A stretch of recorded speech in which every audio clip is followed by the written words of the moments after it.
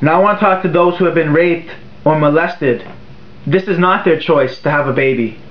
In fact, they've they might be way too young to have a baby and are permanently scarred to have this kid and it, and it just tortures their mind over and over to think of this child. Now I just want to address the situation and say I, I am sorry if this ever happened to you and that just to consider the baby inside of you as life and she is life or he is life and he has a purpose and his testimony of what you've been through and that baby been through can save others from maybe aborting children or maybe impact others to walk a more healthy lifestyle. It has a purpose in this life. I want to talk to Christians about this topic as well.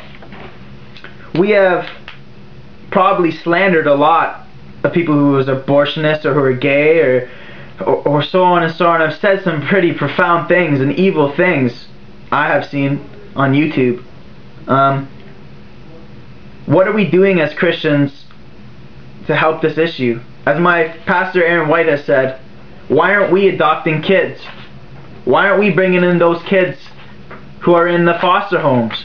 Or saying to those who are going to be aborting their kids, I will take care of your kids because I know you're too poor.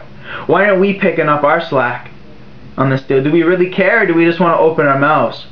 And what are we going to do for those who are going through this terrible crisis in their life?